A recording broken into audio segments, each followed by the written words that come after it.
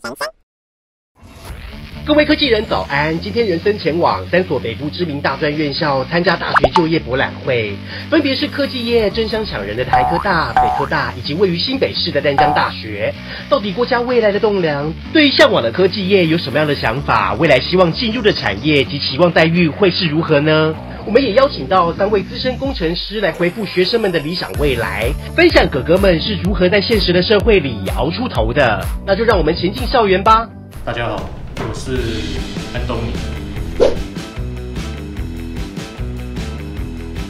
我是 Stephen。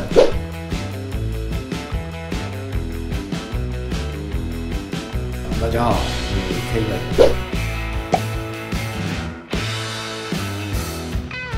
你们就读什么科系呢？呃，化学工程、资讯工程、车辆工程、电机系、是材是硬件工程系的，职工系的，我教育科技、工业工程与管理，是有要往工程师或者是科技业发展。对对对，应该是工程师。对啊，希望是往园区这样发展，网络工程师或是前后端。原本想，现在不想。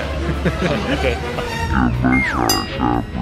你给他的形容词或者是会是怎么样？就是一直爆肝、爆肝、超，应该都蛮超的吧？过劳、常加班吧，而且他们好像就是加班时数都蛮高的。因为看到很多新闻都是说超劳过度嘛，就是一直加班、一直加班，没有自己的生活，说工作好找，不会说没有钱啊。呃，他们都讲的非常好。同学讲的非常非常的真实，的确非常爆肝。可是爆肝现在大家都有脂肪肝嘛，然后健康检查应该不管什么行业，其实都有肝不好的这个问题。我们现在科技也就是缺就是最新鲜的肝。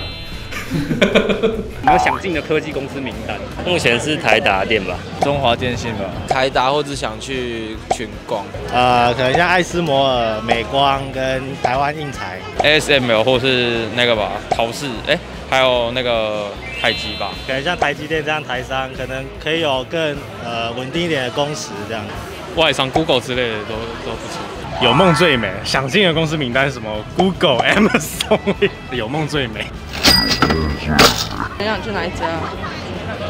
大陆是，就是里面的升迁制度跟一些关于劳工的保险啊，还有一些案子的分配会比较清楚一点。大公司的制度比较好一点，那能在里面学习到的资源也比较多。那如果在之后真的，假如说可能风气或怎么样，让你想要换工作的话，大公司跳小公司，它也是比较好好跳的。我比较倾向小的公司或者是新创的公司，想说他们刚开始一起做，然后就进去里面一起学，然后一起一起发展。其实 就我而言，就是不太需要去迷信大公司或小公司，因为其实都各自有各有它的优缺点。因为大公司它是可能真的比较有制度，然后可能就是各方面都会发展的很成很成熟的，但是可能就是因为分工的很细，所以变成说你要学的东西就变得相对的比较少。那如果小公司的话，可能制度没有那么完善，但是可能就是比较弹性，然后你可你可能要身兼多职，要学的东西就会比较多。但我建议新鲜人的话，就是刚入社会，可能先进小公司去摸一摸，可能会学的比较快。应该是说大公司你要经历大起大落比较难啊，但是如果小公司的话，其实在某些环境，就是你遇到你呃跟你有 match 到的公司，其实你可以在小公司里面发挥你更多的创意或更多的想法。然后刚才看影片里面说，很多人说台积电嘛。这个其实觉得他们可能有这种有点美好的梦想，有点误会。对对对，没有什么误会，因为其实里面其实非常超的。对，因为我我我我有几个朋友在台积电里面上班嘛，就是说里面每个都想要出来，外面每个都想进去，不知道是不是真的。那各位有想进台积电吗？诶，目前倒是没有啦。对，没有。应该是说台积电跟我们的工作内容可能比较比较有对比较不一样，对，所以。那如果说 Google 或什么之类的话，应该可以。可以考这科系对未来的工作有没有什么理想？理想吗？钱多事少离家近，钱多事少离家近。不要说进去之后被操到够爆肝，然后过没十几年就要出来，一直 一直看医生吧，一直看医生吧。理想中的状况是希望能在同一家公司。然后不要跳槽，就可以一顺顺的待下去。这样有一个学长也是这样，过得还不错。基本上好像也是跟报关有关。呃，我还是建议他可能转往公务员方面发展，可能会比较适合。这个产业我觉得可能不是那么适合一直待在同一间公司，因为假如说你做到了一个瓶颈点的那个话，老板会看到吗？你刚讲老板会看到所以不可以把自己放在舒适圈。就是当你觉得你已经在这家公司已经，要是没有什么可以学的、发挥的突破的对对对，我觉得你就可以就是换另外一间公司，直接就是上去了，是吗？啊啊，是吗 是吗？我要去看一下我的感。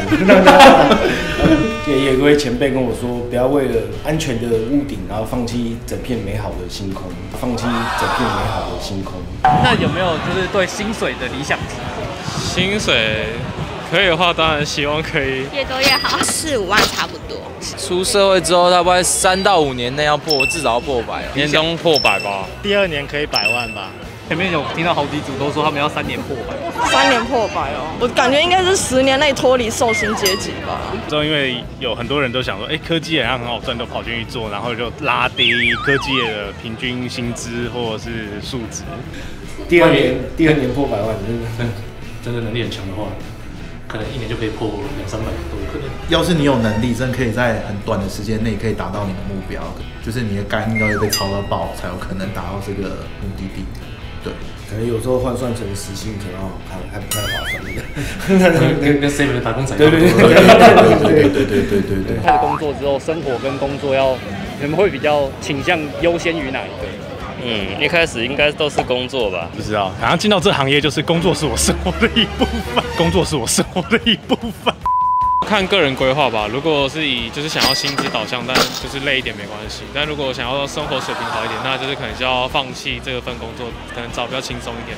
我觉得有点难取到平衡，因为看到新闻都是说，可能工人是早上上班，那下班之后还要再继续加班，也要加到十一点、十二点，那可能就是家庭可能会失衡吧。我当然还是希望工时是比较弹性一点的。那上下班不固定的话，加班的话我也是 OK，但是我不希望是说我一从早上九点做到晚上九点这样，那整个生活就其实没有自己的生活。就是本来就要做自己喜欢的事，所以老实讲，除了陪伴家人之外，其实不用太种太大的平衡。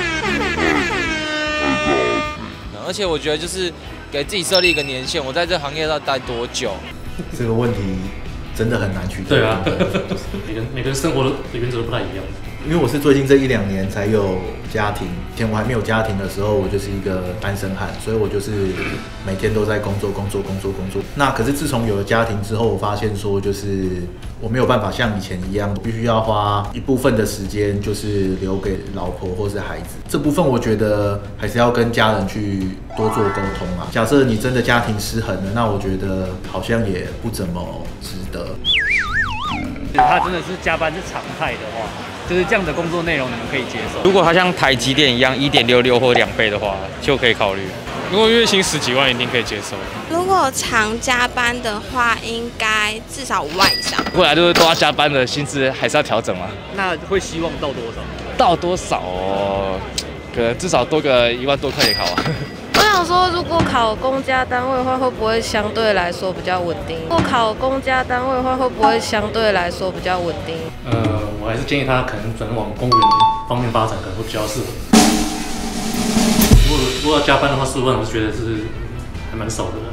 我觉得就是看个人选择啦。当然，每个公司它会有这种工作环境，那愿你看你愿不愿意待，你不愿意待，就是选择换另外一家公司。但是有些人他就觉得他这份工作他有一部分成就感啊，或什么之类，他愿意可以待下去。那我觉得加班要破，可能我觉得要破一万多，可能 所以啊，如果所以因为都在加班，所以他们说，如果轮班的话，就有可能的。对，轮班破万一定是有可能的，但正常的加班我觉得难啊。就是入行前慎选工作，但是不要想太多。如果进来如果不适合，就再再另外找咯。反正人生就是这样。进了厨房就不要怕热。不要后悔自己做的决定，然后这样就好。对，这算警告吗？这不算警告，这是温馨谈话。不要温馨谈话，生命自己会找到出路，肝自己会得修你的。今天简短的采访差不多就到这里。各位科技人认为新兴学子对于未来职业的期望是太高还是太保守呢？欢迎在下面留言跟人生分享科技业的现实面。另外，如果你是个乐于分享生活的科技人，欢迎跟我们联系合作。